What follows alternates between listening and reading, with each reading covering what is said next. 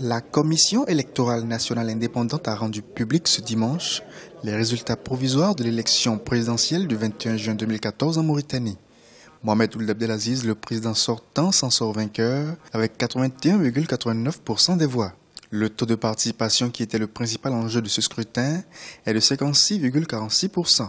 Selon le dépôt des candidatures, 1. Candidature محمد والعبد العزيز de 81,89%. 2. بويجل والحميد 4,50%. 3. لالا مريم من مولاي إدريس 0,49%.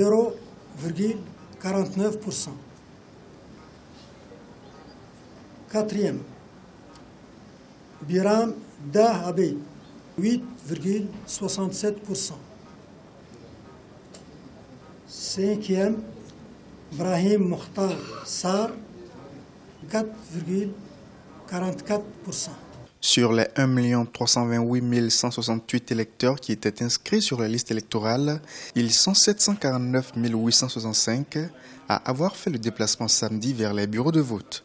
Les observateurs présents pour le scrutin présidentiel ont pour la plupart décerné leur satisfaction pour le bon déroulement du vote. La mission salue les conditions de paix et de calme dans lesquelles l'élection présidentielle du 21 juin 2014 s'est déroulée, ainsi que la maturité dont on, fait dont on fait preuve le peuple et la classe politique mauritanienne.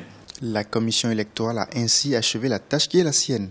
Le Conseil constitutionnel sera appelé au cours de la semaine à proclamer les résultats officiels du scrutin du 21 juin 2014.